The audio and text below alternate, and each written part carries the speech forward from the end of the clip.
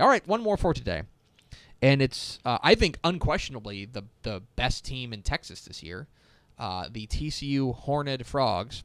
Uh, they win ten games, uh, and a remar- a really remarkable year. So now I think it's I think it's going to be real easy for everyone to focus on the quarterback spot, right? Because Kenny Hill's gonna gonna go off to I presume the NFL draft, um, and then you're probably left with Shawn Robinson. You're probably going to say, okay, well I think Shawn Robinson's going to be the guy. Um, I'm going to go a different direction for my New Year's resolution, and my New Year's resolution for them is that they need to sturdy up the offensive line. They're going to lose a couple of guys up front that they're going to need to be able to to replace. And I don't care who. I think I think in a lot of respects, like we see TCU putting up these big these big numbers, and we see Kenny Hill throwing the ball a lot. But in a lot of respects, the best thing they did this year was run the ball. Like when they committed to the run, that was what really landed the knockout punch on a lot of teams. And they got uh, really fantastic years from from Darius Anderson. He had he had a fantastic he had uh, an excellent year for for uh, for the Frogs. And for me, that's the thing that really stood out to me is that when they run, ran the ball with Darius Anderson, uh, you know Kyle Hicks is going off is is, is leaving, but uh, uh, Sewo Al- Olonilua. Sewo Sure. Olonilua. Yeah. like he was he was a really big red zone threat. When they ran the ball, I thought that's when they were in their their they were at their best. So let's say it's going to be Shawn Robinson. All kind of eyes pointed to them. They like him. I think they knew he wasn't ready, but they like him. I, I think they like him, right? I think if you you're going to need that offensive line to step up, and so that whoever's back there, that takes the pressure off of them to create, so that then you can feel comfortable handing the ball off to Kyle Hicks, or rather for to Darius Anderson or Sewo Olonilua, you know, 30, 40 times a game. Because if whoever steps in at quarterback, let's say it's Shawn Robinson, if he steps in and you're asking him to throw the ball 40 times a game, that's probably not a good thing.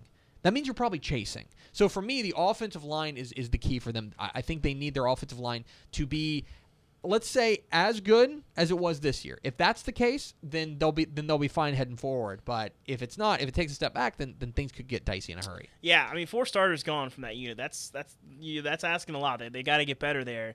Uh, and, I think too. I mean, I, think this is going to be a huge task uh, ahead of Gary Patterson to get this team ready. They were so experienced last year, uh, but you know, you look down at you know you, this year. Obviously, Jalen Reagor. Not, I don't think it's fair to call him a surprise. I think they knew he was going to be great from the second he stepped on campus. But this year, every time he made a big play, it was like, oh, okay, all right, like that's. But they now next year they're going to need him. He's got to make plays for them. Um, but you look down the list. I mean, obviously four offensive linemen gone. I think you know with seeing them early in the season without Kyle Hicks, obviously I think Darius Anderson is more than capable. Uh, you know, Sewo Olonilua also. I think he'll be in good shape for for them.